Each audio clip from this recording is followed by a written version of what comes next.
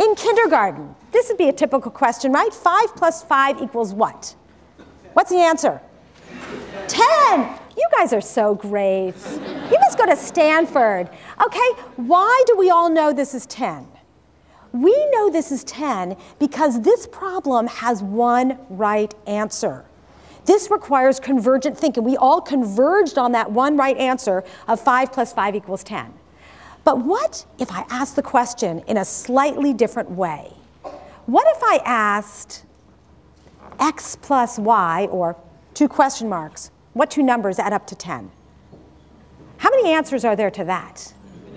Infinite. And I'm so delighted you say that because I'm often in rooms where people are going, well, 1 plus 9, 2 plus 8, you know, 3 plus 7. And they go, whoa, whoa, whoa, whoa, whoa. What about negative numbers? What about fractions? What about decimals?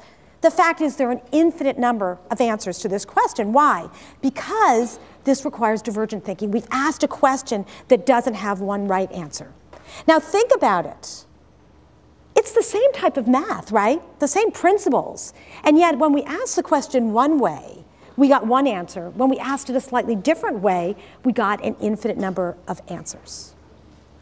This isn't just true in kindergarten. Let's go off to college.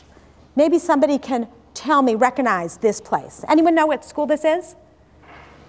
It's in the UK. It's very old. Oxford, yes. Here we are at Oxford. And at Oxford, they do something that is totally brilliant.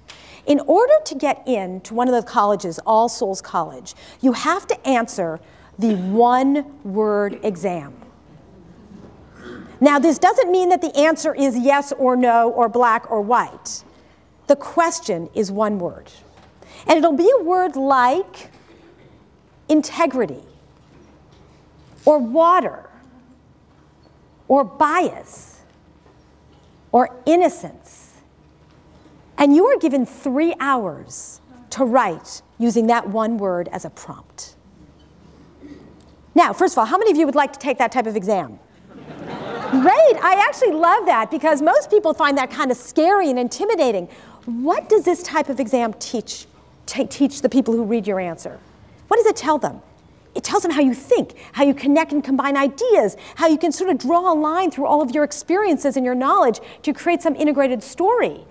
It's about seeing how creative you are.